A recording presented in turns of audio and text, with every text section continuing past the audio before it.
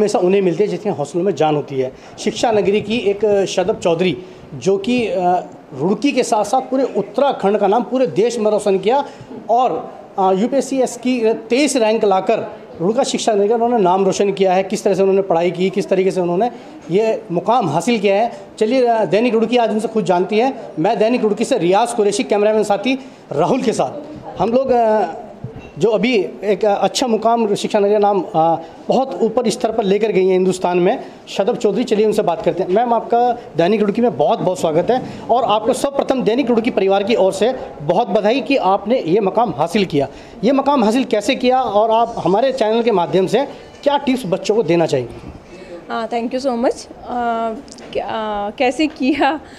मैं पहले अमरोहा में हम लोग रहते थे, वहाँ से मैंने अपनी स्कूलिंग की थी, फिर मैंने बीटेक किया था नाइटी जालंधर से। उसके बाद दो साल जॉब की और उसके बाद से मैं प्रिपेयर कर रही थी। प्रिपेयर तो मैं बचपन से थोड़ा था कि हाँ ये चीज़ करनी है करनी है।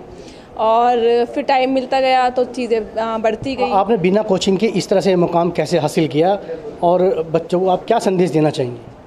बिना कोचिंग से तो मुझे लगता है कोचिंग का उतना रोल नहीं होता है। आप अपना स्मार्ट वर्क कर सकते हैं आप देख सकते हैं क्या स्ट्रेटेजीज आप फॉलो कर रहे हैं बाकी लोग क्या कर रहे हैं और आप क्या बुक्स वगैरह आजकल इंटरनेट पे सब कुछ है और फिर उसके बाद आपकी मेहनत है कि आप कितनी पढ़ाई कर रहे हैं कैसे कर रहे हैं कितना डेडिकेशन के साथ में आप काम कर रहे हैं। आप इसका श्रेय किसे देना चाहेंगे? टीचर्स या फिर परिवार? दोनों ही लोगों का बराबर योगदान होता है। परिवार आपको मुकाम हासिल करने के लिए एक पीछे कोई ना पर्दे के पीछे कोई ना कोई एक व्यक्ति होता है जिसे आप ये ताज पहनाना चाहेंगी। नहीं डेफिनेटली फैमिली का ज़्यादा रोल रहता है, क्योंकि थ्रू आउट आपकी लाइफ वो आपके साथ में रहती है। पेरेंट्स ने बहुत सपोर्ट किया, छोटे भाई बहनों ने हमेशा बहुत सपोर्ट किया, साथ में जाते थे एग्ज़ाम्स वगैरह के लिए भी। तो आई थिंक फैमिली डेफिनेटली बहुत, लेकिन हैविंग सेट दैट टीचर्स का भी काफ़ी रोल रहा है। इस इस दौरान कोई ऐसी कठिनाई आई हो, आप परेशान भी हुई हों कि ये मुकाम कैसे हासिल करूँगी? इस पर आप कुछ बताना चाहेंगी? यू पी एस सी काफ़ी लंबी साइकिल है, पूरा एक साल लग जाता है एक साइकिल कंप्लीट होने में। तो कई बार ऐसे मोमेंट्स आते हैं जब आपको लगता है कि अच्छा बहुत लंबा हो गया है, हो पा रहा है कि नहीं हो पा रहा है, या डाउट रहते हैं कि आप कर पाएँगे कि नहीं कर पाएँगे। सबके साथ होता है, पर मुझे लगता है कि अगर आप डेडिकेशन के साथ, लगन के साथ काम कर रहे हैं मोटिवेशन आपके अंदर है तो आप उस चीज़ को सरमाउंट कर सकते हैं। अब आप कैसा फील कर रही हैं? अभी तो नॉर्मली फील कर रही हूँ लोग हैप्पी अच्छा लग रहा है। हाँ लोग आ रहे हैं अच्छा लग रहा है। सक्सेस का थोड़ा अभी टाइम लगेगा शायद सिंकिन होने में। अभी तो मुझे थोड़ा तो यकीन भी नहीं आ रहा है कुछ चेंज हो गया है। बट हाँ ओवरऑल सब लोग बहुत खुश हैं ये थी शदब चौधरी जो कि आई एस क्वालिफाइड करके तेईस तेईसवीं रैंक लाकर शिक्षा नगरी का नाम रोशन किया। चलिए इनकी मम्मी से बात करते हैं हम लोग देन उड़की से। मम्मी इनकी हमारे साथ मौजूद हैं। आप आंटी कैसा महसूस कर रही हैं? बहुत अच्छा लग रहा है। बच्चा कुछ करता है तो खुशी तो होती है।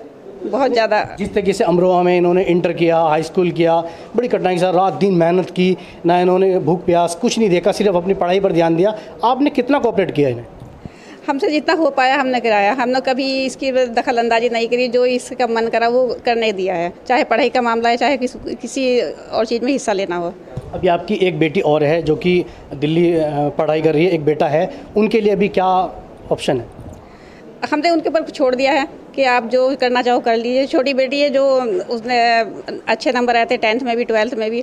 टेंथ में जब उसके टॉपर रही थी तो लोग बोले कि साइंस दिलवाओ साइंस दिलवाओ। मैंने बोला कि आपको क्या चाहिए? वो बोली, मुझे कॉमर्स करना है कि कॉमर्स करो बाकी लोगों की छोड़ो।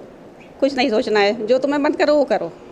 ये थी हमारे साथ शदब चौधरी, जिन्होंने एक ऐसा मकाम शिक्षा नगरी के लिए हासिल किया है, जो कि एक बच्चों की शिक्षा नगरी, चाहे वो किसी भी बिरादरी वर्ग के लोग बच्चे हों, और हौसलों के साथ साथ उन्होंने जज्बे का काम किया है। दैनिक रुड़की ने आज इनका इंटरव्यू लिया और आपको दिखा रहे हैं। मैं कैमरामैन साथी के साथ रियाज कुरैशी।